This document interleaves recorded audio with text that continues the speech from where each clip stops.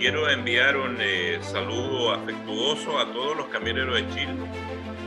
Decirles que el 26 de julio de todos los años se celebra el Día del Camionero porque fue el día en que León Vilarín y otros dirigentes nacionales tomaron la decisión de paralizar las actividades eh, por la gravedad de la situación que teníamos en aquellos años, me refiero en el año 1973. Pero eso ha pasado. Nosotros tenemos hoy día que pensar en el Chile del 2030, del 2050.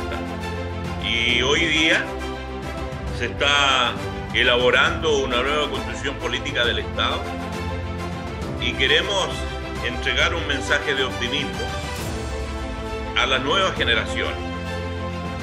No hay mejor instrumento de movilidad social que la educación de calidad y el pleno empleo. Por lo tanto, tenemos que privilegiar y tenemos que hacer que esta nueva constitución y las nuevas autoridades entiendan que los chilenos queremos condiciones para desarrollar los dones que el Señor nos entregó. Por lo tanto, quiero enviar un mensaje de saludo a los camioneros de Chile, desde Arica a Punta Arenas, a sus familias, a sus esposas, a su, gente, a sus trabajadores, a los conductores y a su planta administrativa, porque estamos, estamos conmemorando, hay poco que celebrar, pero conmemorar el Día del Camionero, este año lleno de incertidumbre, pero con esperanza. Muchas gracias.